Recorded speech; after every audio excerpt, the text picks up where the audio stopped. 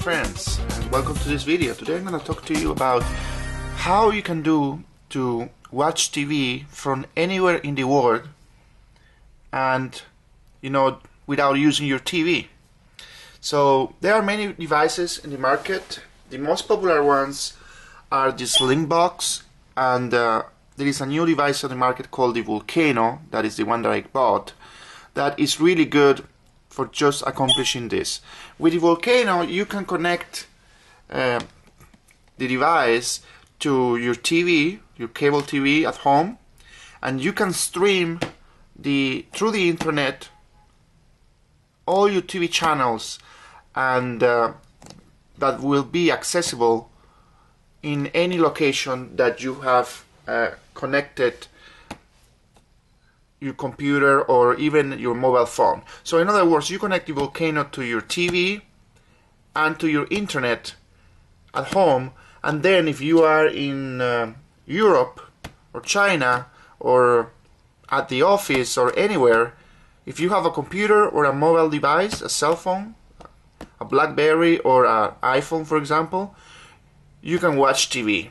And not only that, you can change channel, you can uh, record any shows that are on TV and then watch them on your device. So it works as a VCR or a TiVo and uh, it's really amazing what this device can do.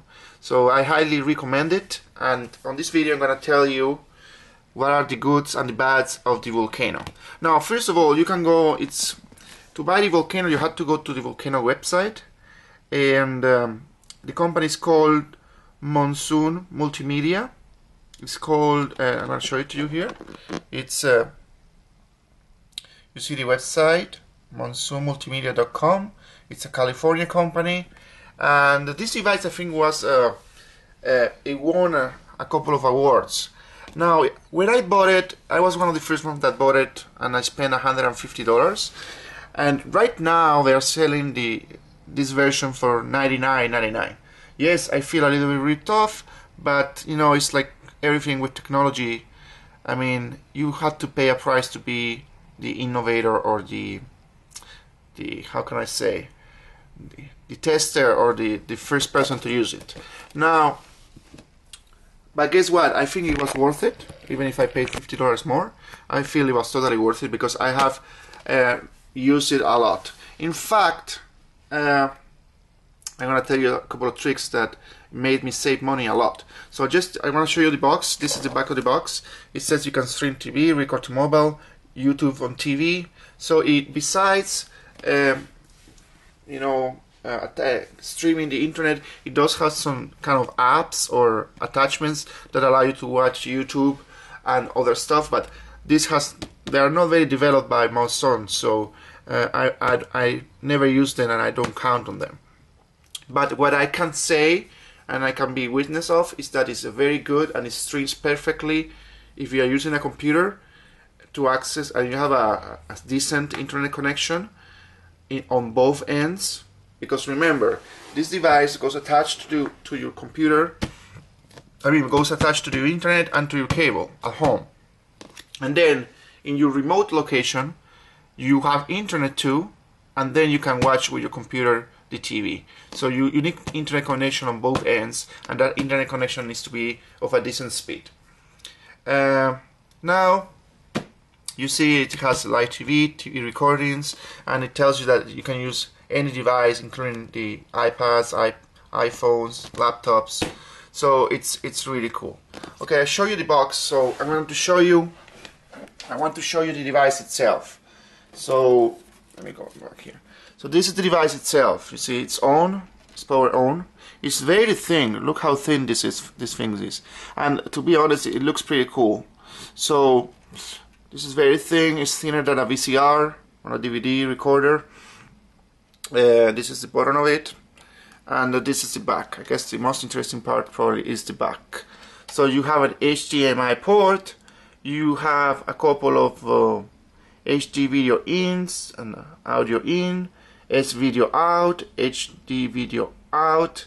Also, you have this um, USB port that is reserved and, and it's not really in use, uh, and so it's probably there for a future expansion. A reset button, a SATA, an eSATA um, connector for um, SATA hard drives, and an Ethernet port. Now the good thing about this is that I'm gonna, gonna put it back continue showing you. The good thing about this is that as you can see this the the Vulkano first of all you can connect it to the internet through the ethernet cable. That would be the best way and the fastest to connect it through, to, through your internet. Probably all you have to do is connect that uh, network cable to the Vulkano and then to your wireless router or to your um, modem and that will create a, a, cable connection that is fast and, and, more reliable. But if that the way I have it set it up and it's pretty good too and reliable at the same time is wirelessly.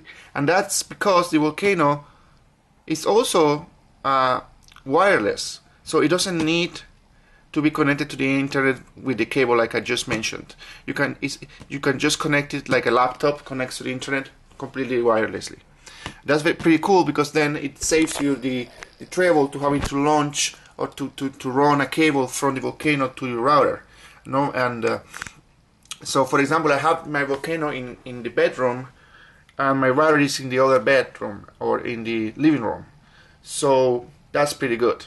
Another thing though is um, that you have two ways to connect it to the TV. One way is to use the US, the HDMI cable, and the other way is like I did to to plug it through the RCA cables. So that's up to you, uh, but you have the choice. Now I have to tell you that if you connect your Vulkano to normally when you want it to connect it to, to a cable TV, right? To stream cable. So you have two options. If you connect it to the cable box that will be the ideal. You will have a, a, all your channels that you can see on the cable box will be available in your Vulkano. But now uh, there will be a problem because you may need to change channel and to change channel the Vulkano use the following devices and I want to show you this. Um, here, here you see it's, it's, a little messy now. I'm sorry because I'm just for this demonstration. You see that I have a very old very old VCR here and uh, you can still find these things for like 40 bucks but I had a couple of them and so I put them to use why because like I said if you connect your Vulkano directly to your cable box then uh, you cannot really uh, only one device can change channel at the same time so let's say somebody's watching TV on the TV that is connected to the cable box and I'm watching the TV in China with the Vulkano that is also attached to that cable box and I change channel. So if I change channel in China, it will change channel here. So that person that is watching TV here is going to be very annoyed. So that's not a good solution for me. So what I did is I put it in, in the spare in the spare TV in the in the, in the spare um, cable TV on the bedroom that doesn't have a box. It has a direct connection. So disadvantages, I lose channels that are above the 100 because I'm just using the regular analog channel without the cable box. The second thing is that Uh, I have to have a device that allows me to change channel or, or in other words a tuner some a device with a tuner and that is either an old VCR or an old DVD player that has a tuner that allows you to change channel. So I had it, it's here. So what I did is connect it to the TV and then connect the Vulkano to the VCR. Then the, the Vulkano comes with these little devices here that you see here.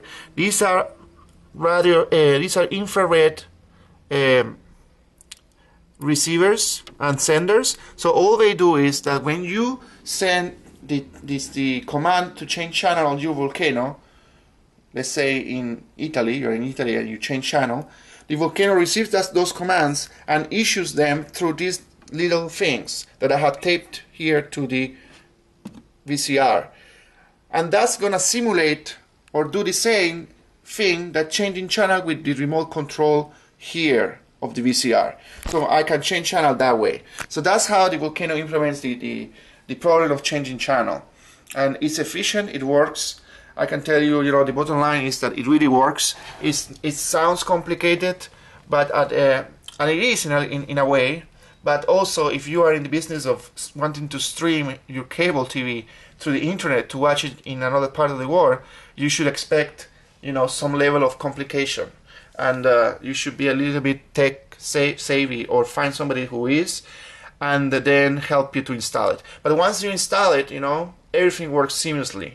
Um, so it, it's, it's really convenient. Now before I end this video I just want to mention that um, you can use your mobile devices and in fact I use my iPhone all the time to watch TV now there is a caveat and the caveat is that for a, when you use the Vulkano with your computer in a fast internet connection it works perfectly. It works perfectly. You can record watch TV you can change channel everything works perfectly. It doesn't really work well when you use your mobile device you know iPad, iPhone, or BlackBerry. And I, by the way, I have used it in a BlackBerry and on an iPhone, so I can I can I know what I'm talking about. So it doesn't work very well when you use it in in a mobile device if you are on 3G speeds or less. I haven't tested it on 4Gs, but on 3G it doesn't really work and it's not really usable. So don't really expect to watch TV on the car uh, using your your your your iPhone or BlackBerry on 3G speeds. It just doesn't work. It stumbles. The video stops. Sometimes it's only audio and it stops all the time. So that's not really usable. Now, if you your phone or mobile device has Wi-Fi, is connected to a Wi-Fi network, it will work perfectly.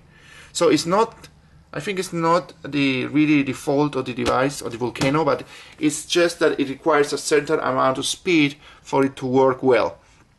Of course, there are several things that Vulkano should do to make the probably the video and the audio size smaller so it will work in these low speed connections. But you know and it was expected for me. I, I, I really didn't want it to, to to be that powerful. It was not such an expensive device. I'm not sure if the Slingbox is better. I haven't tried it myself but the Slingbox costs twice as much or more than the, the, the Vulkano. And for, I, for what I wanted it, it worked perfectly.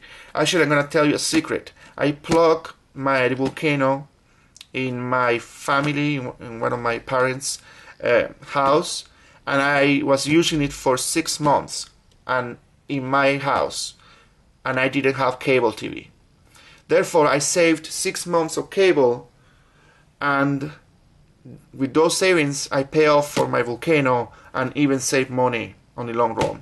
So, you know, there are different things you can use with your Vulkano and uh, it really gives you a lot of flexibility and freedom. Anyway, this is all for today. I hope you enjoyed. And if this video is successful and has uh, views or if you give me comments about it, I will probably make a part 2 to show you how it works in action on the computer and on a mobile device. Thank you for watching and please subscribe.